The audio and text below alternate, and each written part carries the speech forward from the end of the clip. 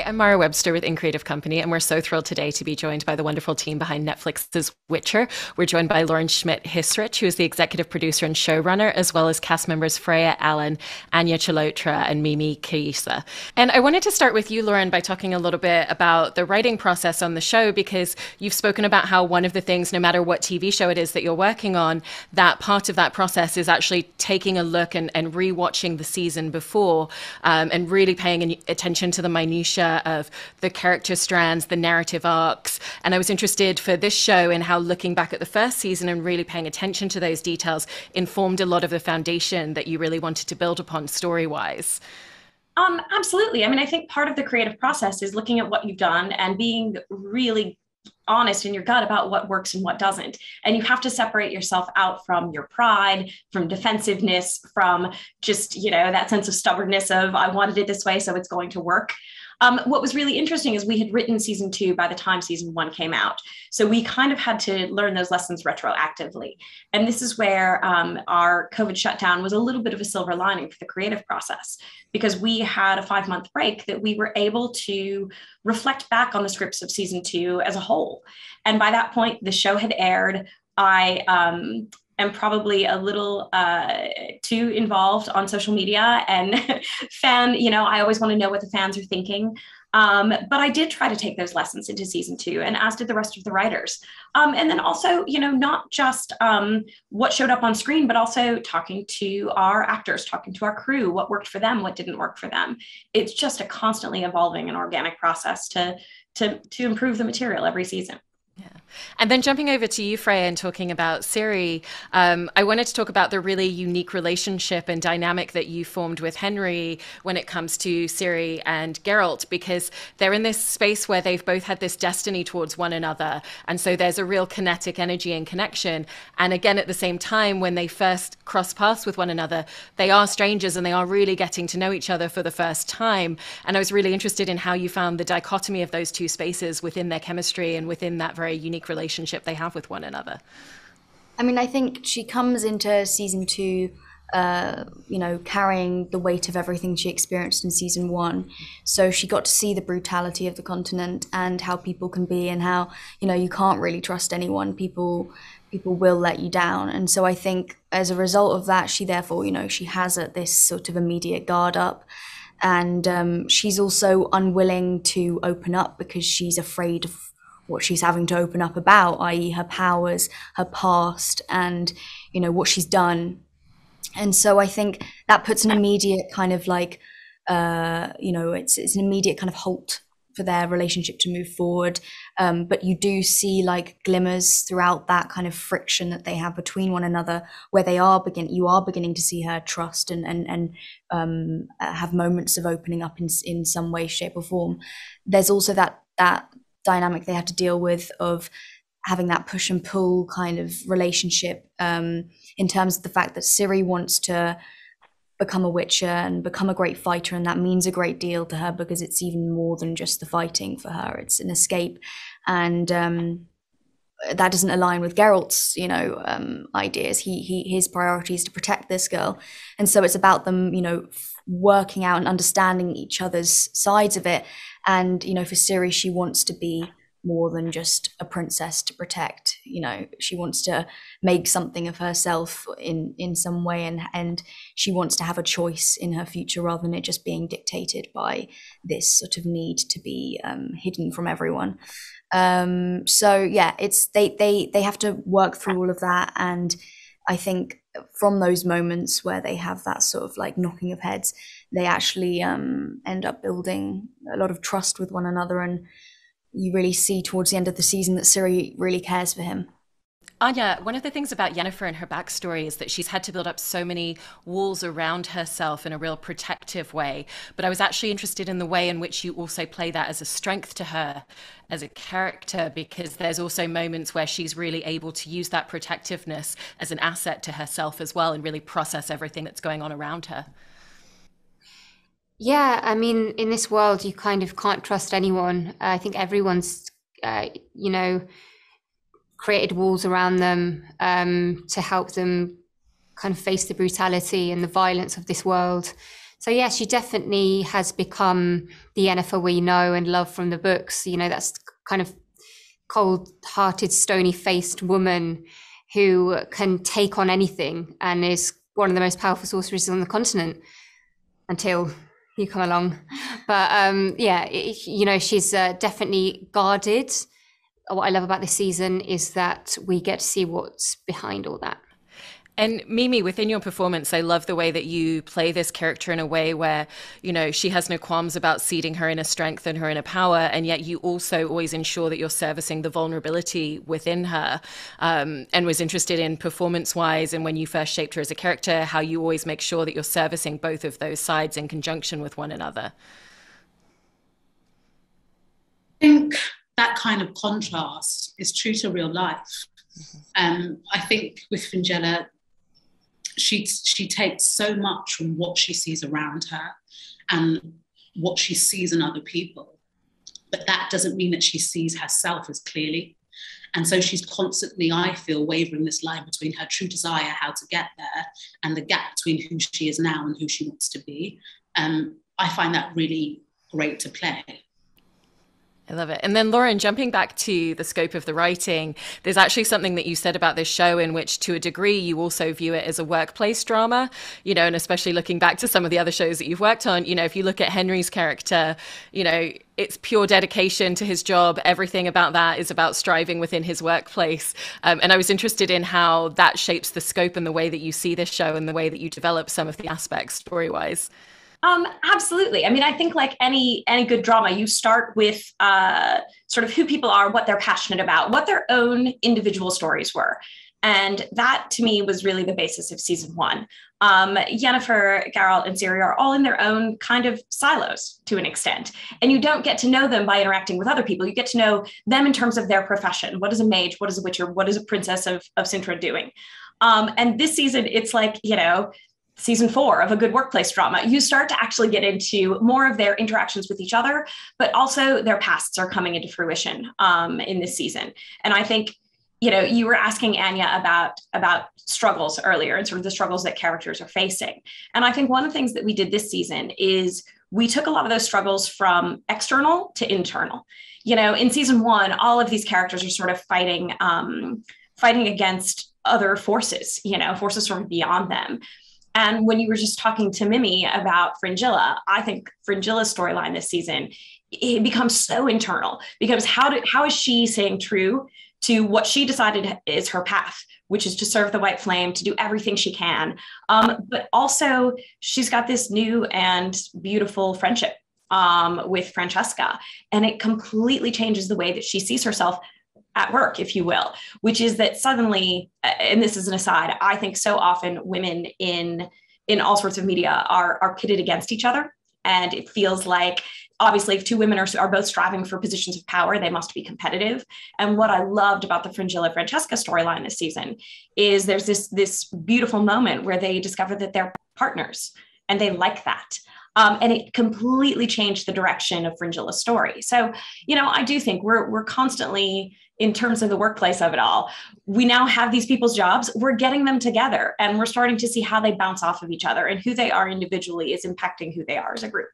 And off the back of that, Mimi, I wanted to come back to you and talking about the way in which your character having that moment of discovery where she really loves this partnership that's forming, how that for you opened up different landscapes and different spaces within her as a character to explore.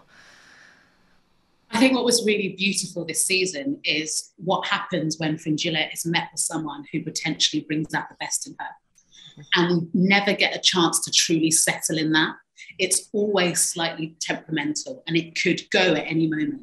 And she feels that. She definitely feels that. And as we go through the season, we see her processing that against what is required of her. Um, I'm excited for you to see that process. I don't want to spoil it, but yeah. Jumping back to you, Anya, I wanted to talk about Yennefer in terms of her relationship to her physical self as a character, because you know her body is the reason that she was so rejected in the past and rejected by her family, and now is a, a place that she has learned to pull a lot of power from. And obviously, in the in the second season, she's going through that relationship within her physical self and the loss of pa- that power and what that means to her as well. And so, I was interested for you in how she's had such an exploration of what her relationship with her physical self and her version of power ceded from herself is?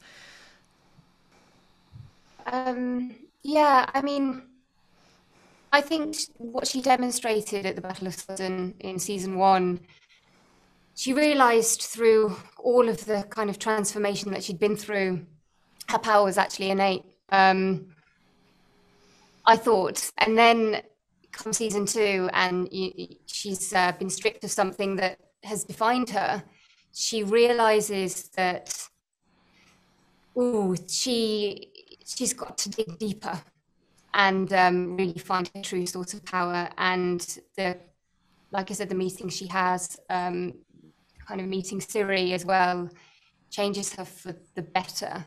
Uh, her purpose shifts for sure to a more powerful, selfless purpose. And then Freya, with Ciri going through all of the training where she wants to learn everything that witches do, you know, she's pitted into this space where she almost feels like no matter how much she does, it's just never quite enough and she's almost succeeding. But there's the moments where she's doing the American Ninja Warrior style course and she almost gets there but doesn't. And I was interested in how you approach those scenes because there's so much in terms of your physical performance, but also a lot of internalized moments where you're really capturing that fortitude and determination that she has. Yeah, I think she just always has that um, in her, that kind of uh, determination to prove people wrong. Because I feel like having come from, you know, being a princess, you, she's kind of constantly wanting to and having to do that, prove that she she can be more than just a princess and boxed into this sort of stereotypical kind of idea of a, of a princess. She wants to be more than that, and she's a character who she's someone who you know um, recognizes that she has choice and that that belongs to her, and she can do what she wants with that. So. Um, you know, when she gets the chance to prove to Lambert and Coën that she can uh, conquer the obstacle course, um, I think that's, you know, that's immediately, you know, it's it's them and their doubt in her and their sort of um, yeah, their doubt in her that sort of is the catalyst for her uh, her determination throughout the course. And um, I think her frustration post it is obviously very natural. I mean, she was so close to perfecting it. Um, and you know, she's she also not only wants to prove them wrong, she wants to prove Geralt to Geralt that you know she can do this and um, give him a reason to to actually believe and to and to be a force behind what she views as her future, which is becoming a great fighter and becoming a mm. Witcher, because you know that was a big. Um, you know thing that they're having to navigate in their relationship is the fact that he just wants to protect her and um, she's trying to say you know through this kind of um, training and um, eventually, you know, uh, vo- you know, vocalizes it to him as well that she wants to be more than that. She doesn't mm. want to mm. just be this girl to be protected. She needs to also live. So um, yeah, there's there's all that running behind all those training moments. Um, I wanted to talk about the physicality and where you find your performances with your characters when they are ceding their power, because there's so many different dynamics and spaces and emotional landscapes that it comes from whenever they are kind of harnessing that. And so I was interested in when you first jumped into the show, the spaces that you played around with the phys- with the physicality of your performance in those regards. You know, I feel like Freya hit the nail on the head there. We're given such great material and so I try my best not to layer it with too much of myself. I just sort of take what we're given and then I, I try and find that in the scene with my sea partner. And so much of Fringilla's process this this season is about her internally working things out. It's about her internal struggle. It's about her utilizing her relationships or not, um, and seeing where those things get her. And, and that's that's it's all in the page for us, and, and we do we discover it um, as we go. And sometimes I, I remember I would have an idea in my head of what I think a scene may look like for her, where I think she needs to leave a scene emotionally. And that would never go as planned. So I learned to sort of let that go really quickly. Has that been a similar trajectory for you, Anya? Because again, you've had so many great moments to play around with, and even just the physical manifestation of the season one finale and that moment for her as a character. Yeah, I mean, um, I try not to. Uh, the best advice I ever got from a mentor um, four months into filming season one, I was called her up, Niamh Cusack, and she um, and I was like, oh gosh, I'm, I don't know what I'm doing. she said, um, just play the scene. Like that's all you can do. Play the scene, um, play the stakes of the scene. Don't think too much about. Don't cerebralize anything. Um, and that is how I kind of need to go into each season of The Witcher because it's a mammoth kind of task to to film over a period of um, six to eight, uh, a year and a half um, um, worth of you know a period. So it's you know, we don't necessarily shoot in consecutive order. So it's really important to just be present, I think. And I think that's the best advice I have ever been given. Um, so when, even though when it comes to physicality, kind of mental prep, you know, it, you try and leave everything at the door and come in and do your job professionally. But it's it's, it's been hard through COVID. You know, there's been so much um, angst on set. Though people disguise it so kind of well because we've had to deal with it for so long, it's important to just go in present, I think. I mean, that presents its challenges as well, but um, best advice. And was that a similar journey in terms of the physicality of your performance when you were playing those those kind of early scenes within Yennefer's life where you had the prosthetic kind of hump on your back and her jaw was misaligned and really figuring out what the nuances of that needed to be because that was about both the physicality but also the emotional impact that that has on her as a character. Yes, um, we came up with that movement quite quickly. Um, so I think both informed each other both you know you i had to on season two eh, one just trust my instinct there was no room for doubt really um, i had to believe what i was doing to kind of hopefully make that translate on screen and um, so again, when it came to the physicality and the, the, the kind of emotional state of the young Yennefer with all the trauma she has to deal with, um, it was it was it was about trusting an instinct of mine. And I work from movement anyway. Um, there are kind of, uh, I suppose, with more prep, there could have been different ways of exploring that movement. Um, but that's what I went with, and you know, trusting trusting your instinct is kind of something I live by when I when I film.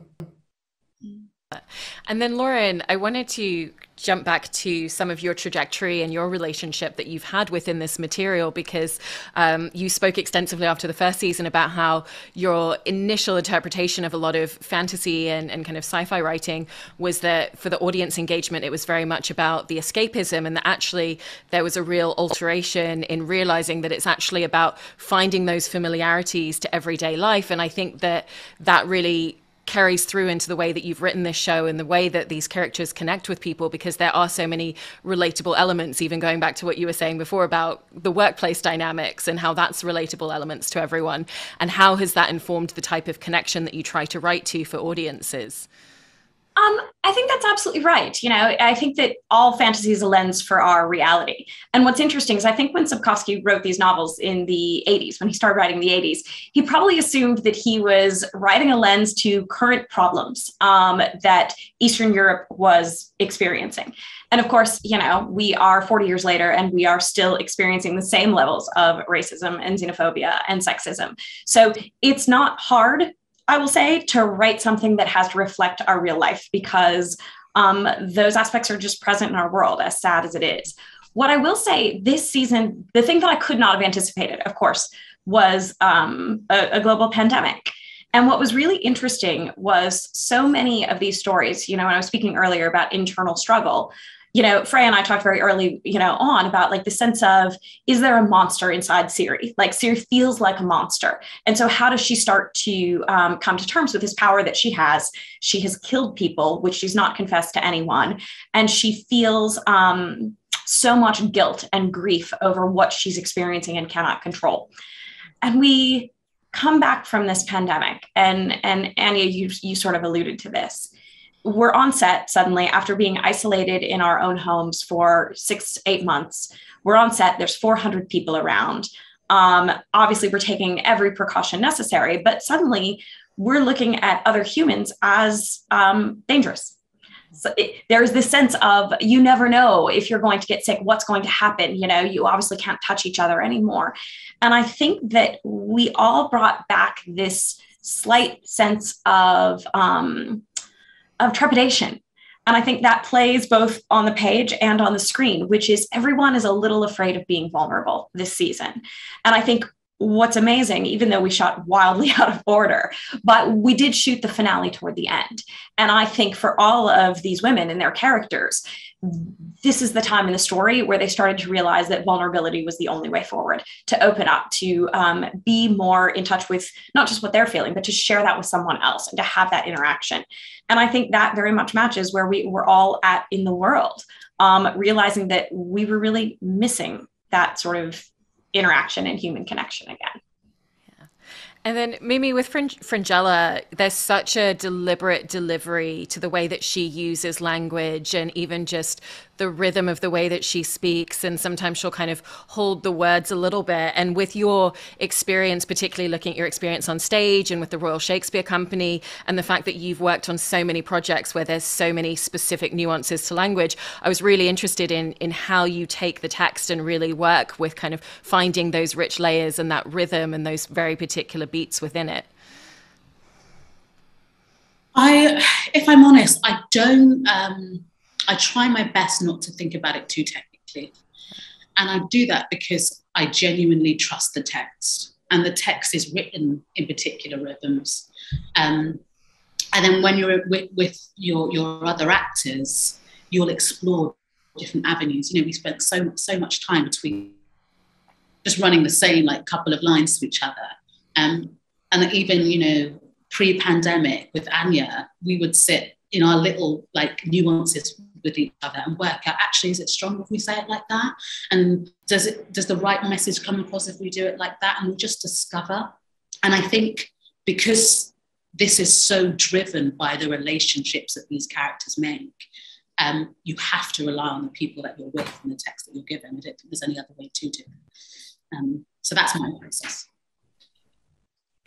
Freya, going back to Ciri and part of her, her arc within this season, there's a moment where she kind of finds out that she potentially has the ability to do something which would heal other people around her and really have a huge impact and yet it's a huge risk to herself. And and as a character it very frequently feels like she's someone who isn't just thinking about the outcome for herself but also the implications for others around her. And is that something that's always been a really important trait and really important characteristic for you to carry through within her and her interpersonal dynamics?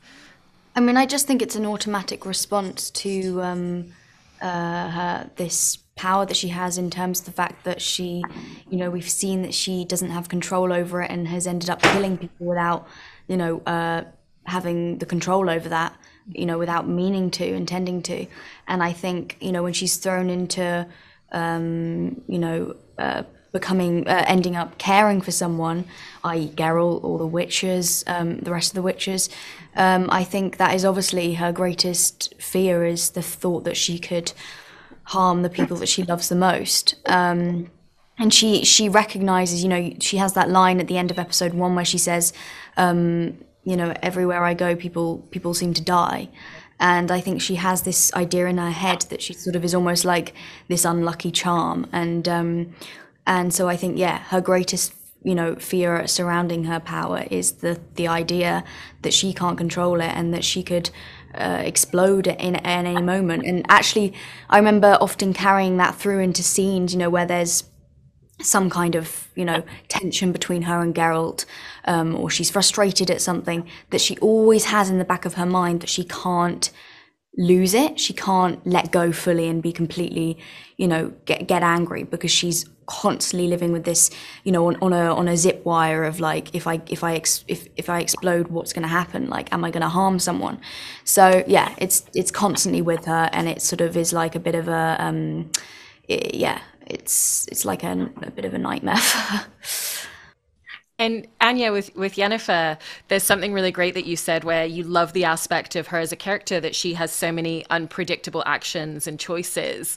Um, and when you're working on scenes and trying to figure out all the different directions that you could possibly take a choice or take an emotional response to something, does that really open up the possibilities for you and a lot of the different choices that you can look at as potential directions and avenues? Yeah, I mean, testament to the writing. Uh, that kind of with Yen's journey and um, and who kind of what we're creating with Yennefer, we're able to really explore every side of her. We know and kind of love this presence she has, this magnetism. And what's interesting is that even when she's up against Geralt this season, what does that look like? Now she's kind of not um, she hasn't got the she, she's been stripped of something that's so um, defining. What, what, what, who, who is she now? Where, what route does she go down? I mean, she's a human being, and we've got capacity for so much. Um, the kind of we, you know, we've all got a monster in us. We've all got. There's so many directions we could go in. It's about the choices you make, and that's why I think it's so clever this season with all the meetings that these characters have to to put them in front of their enemy and go right here you go. And you know how are we how do we navigate this world that's getting even more brutal and violent and the threats even more kind of upon us? This this elf uh, the the elf story that we have in this season as well that through line is incredibly important to, to Yennefer's journey as well this season um, and adds an, yet another layer to the continent and Lauren, one of the other things that you've spoken about in, in terms of the writing process as well is that you know you're you're writing this show and you're creating a series for Netflix where there is that flexibility in essence to really play around with episode length and have moments where a certain narrative arc goes on a little bit more and you spend a little bit more time with it. But that for you, you actually like to really keep that story tight and kind of keep to that hour.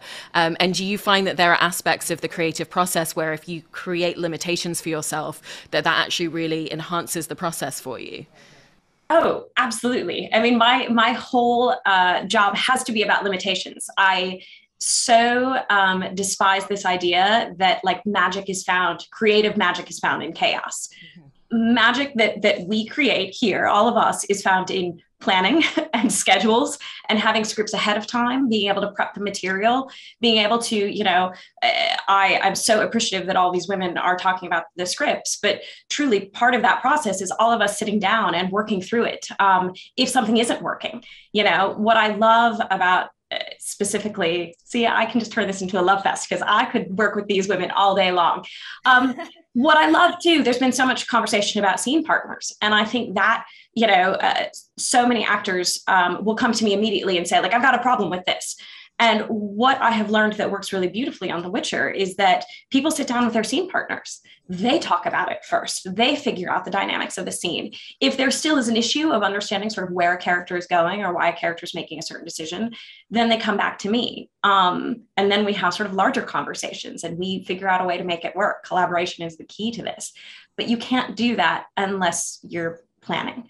So for me, so much of my job is about boundaries. I think I grew up in network television where episodes were exactly 42 minutes long, not less, not more.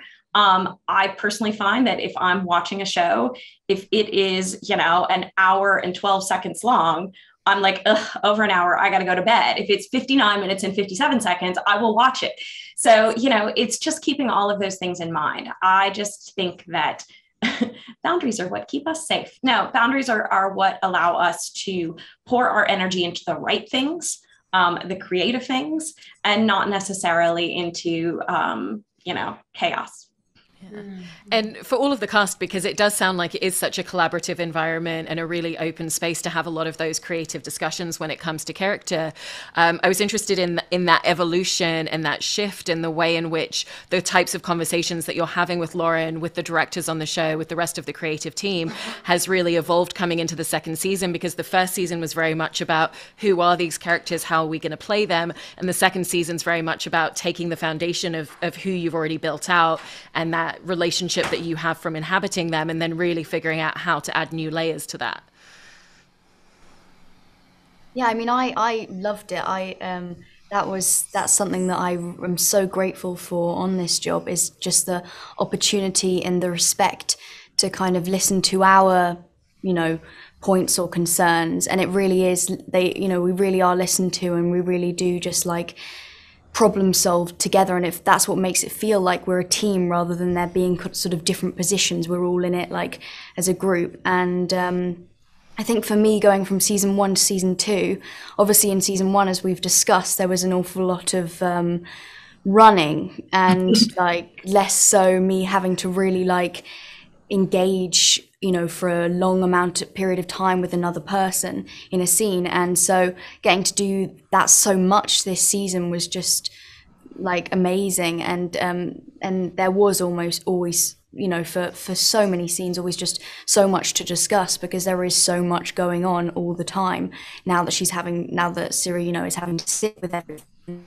and work herself out and work so um, to do that with like all the actors I got to work with was just so much fun and I absorbed and learnt off everyone and um, yeah it's that's the that's what i love so much about getting to work is just getting to work opposite other actors and and and absorb everything that they're doing and yeah. And what about for the other two of you yeah it's, i mean sometimes you think you know it all because you've played them for the first season but you come on and just introducing so many new characters new direct directors for each block, kind of changing the pace of The Witcher, changing your thought process for the better, adding more voices to this incredible family that we've already created, just brings so much depth without even consciously thinking about the changes you're making. You're making them, and I think that's the uh, kind of the lovely uh, thing about The Witcher. And Sophie's done an incredible job to to bring on uh, this is an essence of everyone in the family that's quite similar, isn't it? Yeah. Um, everyone just c- comes in and is their character and fits so beautifully into mm. this into this world. Um, constantly surprised, uh, constantly challenged. Yeah, it's cool because so many of the dynamics off screen between us as as ourselves is honestly so similar to Crazy. the dynamic on screen. So it's like you're constantly just transferring elements of a very sort of like natural energy just into you know our, our characters exactly. and the situations they're in. It's yeah. it's really cool. Yeah. I, I remember one of the, um, one of the first ever conversations, I think it was the first conversation actually that I ever had with you, Lauren. I remember you saying to me, No divas here. And then you go from season one, um, where you do feel this sense of unity, but obviously it's season one, and, and part of your process as an actor is, you know, you're working out the baby steps even for your character. And as the world and the continent expands in season two, you realize actually this is an environment where every perspective is genuinely welcome. And with that comes a richness. Um, and as we get new dynamics like the elves and things and, and new um, actors in that, in that environment, as well as new creatives, you're just constantly building and building. And you don't realize it until you look back and you'll look at it and be like, oh my gosh, guys, has this been a three year process? It feels like 10. Um, and that's kind of the beauty of it that you look back and go, oh, I'm proud of us you know? yeah. There's definitely a sense of that at the end of this season. My goodness. Oh yeah, I bawled my eyes out. I did. I was an absolute wreck. And it was more for everyone else. It's like, you've done it. well done. Has it also really um, shifted the way in which you come in and work on scenes together as actors as well? In the fact that, again, you're coming in and you kind of have this secondhand idea of not only your character, but the characters that you're playing alongside and each other as actors and the way that you stylistically all work. And, you know, because everybody always comes in with their own dynamic and their own way of working as a performer. And then you form this kind of collaborative, very unique style within a show as well. I mean, I think, you know, just I can't obviously speak as a performer, um, but, you know, I do think that it has shifted so much. It, Mimi's right. I, from day one to everyone I met, every single level, all actors, the crew, Um, I think I use not as pleasant a word as diva. Um, uh, but, you know, I really feel like I, um, uh, these women know I'm on set every single day. I'm always there. I've, I work really hard. I want everyone else to work really hard too. But more importantly than that, we're all away from our families. We're all spending so many hours there. So let's make it an enjoyable place to work. And I think too, um, I think season one for me was a lot about facilitating conversations, making sure that that actors were comfortable with their scene partners, and you can reach out. And I didn't have to do any of that in in season two because those relationships are established already. And i there is nothing better than when i would come in you know with my coffee in the morning um, to our Kaer Morhen great hall and freya would be sitting with kim bodnia and they would have gone through the scene. They'd be laughing and cracking up and they would have already figured it out. And i just think like the intimacy that we're all talking about that sense of family um, which is not to say by the way that there aren't problems and drama and bad days. Like those all exist but that real sense of intimacy that you have allows people to feel comfortable and vulnerable with each other.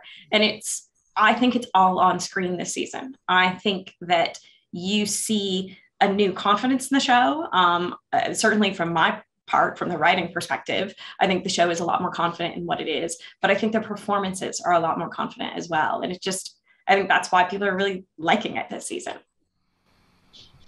Yeah completely agree. And then lauren and i also wanted to talk about the fact that you know, you've got such an amazingly extensive eh, background and experience in working within television, but this is your first project coming on board as a showrunner. And what were those kind of evolutions and, and learning curves? Because there's so much that you've obviously seen firsthand with the showrunners that you've worked alongside on all of these projects. And yet there's always elements and aspects of the job that you just kind of don't know or can't experience until you're actually the person doing it. And so I was interested what those aspects were and what those learning curves were for you in taking over Witcher. Um, they were great. I mean, I I started in television when I was 20 years old, and I started on The Witcher when I was 39. Um, and it absolutely was my first show that I'd ever run, and it wasn't a small one. I was not. Um, it was definitely sort of a baptism uh, by fire. I think um, my evolution has been a really personal one, which is that at the beginning, I think both because it was my first time as a showrunner, because it was such a big show, and frankly, because I was a woman in a field that I think is not just traditionally male in terms of showrunners, but also in the fantasy world, it's traditionally a genre that is led by men.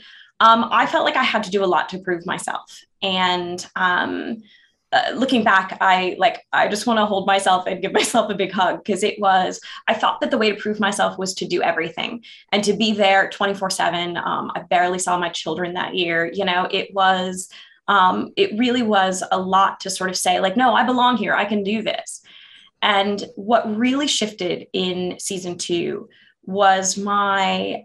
Uh, my understanding that one, I didn't have to work so hard to prove myself. I was there, I was doing the job, and the show was good, and people were happy. Um, but even more than that, that by trying to do everything myself, I wasn't letting other people um, shine in in their jobs. And so, starting season two, I really took on this mantra of like hire people I trust, and then trust them, and then trust them to do their jobs. Um, and that I think is part of the overall shift in season two, is because we have an amazing creative team and they all got to own their own creative parts of it. Um, and this is everyone from you know actors to directors to you know production design and costume. Um, people really got to shine. And for me that meant less micromanaging and more sanity and space for me to be okay too. And it, it's it has changed everything. I think it's changed the show but more than that it's changed my life and and the quality of my life and then lastly, I'm going to come to each of you within the cast because this feels like a show where it's really giving you so many opportunities to stretch as actors and to go into a lot of spaces for the very first time in terms of the landscape of what the show asks of you.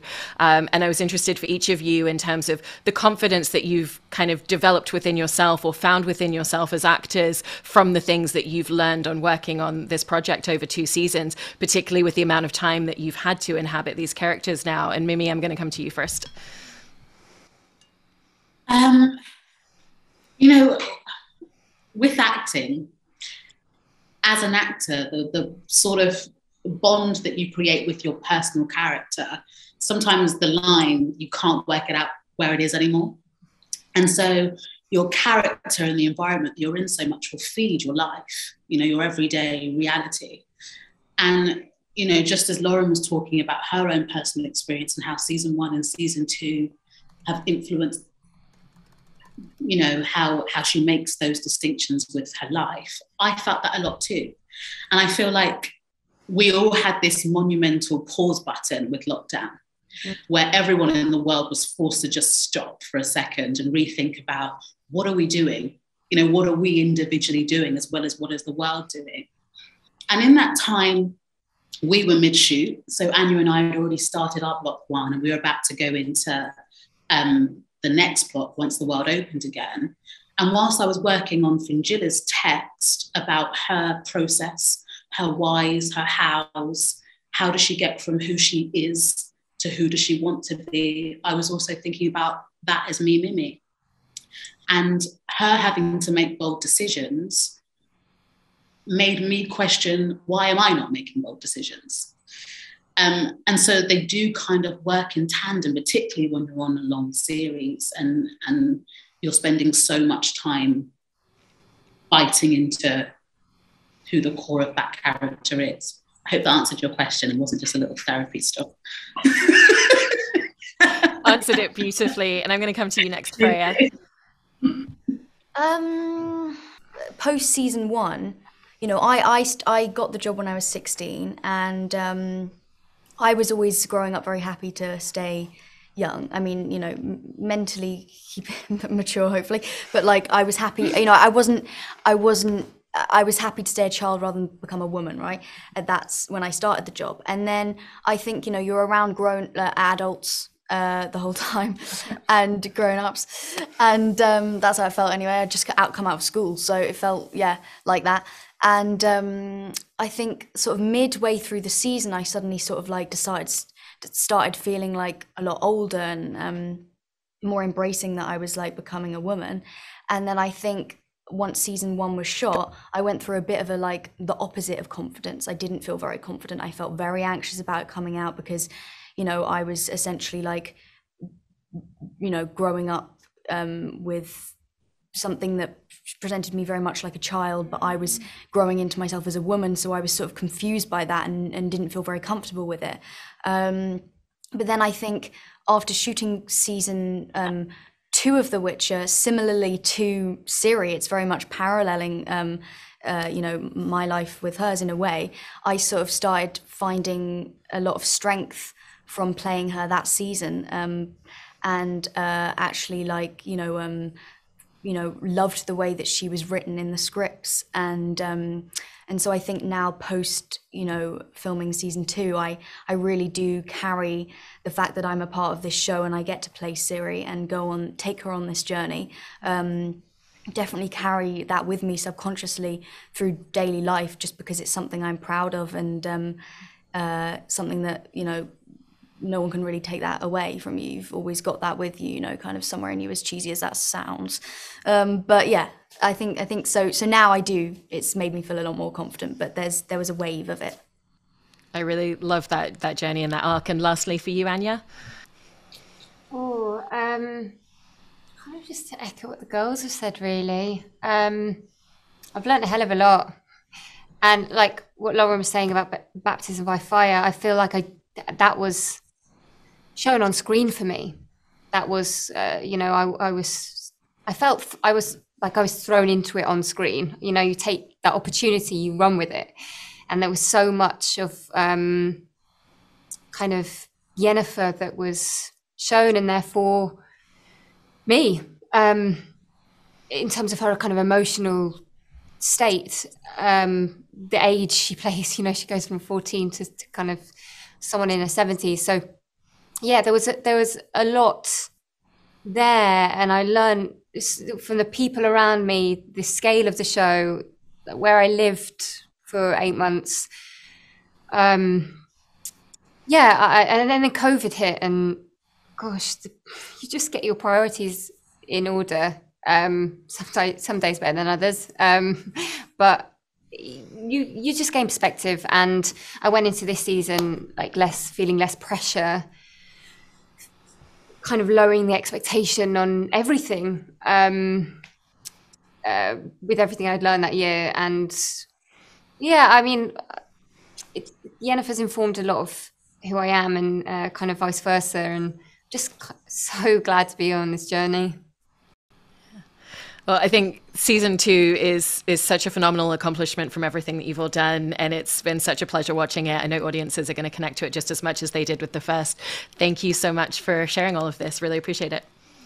Thank, Thank you. you.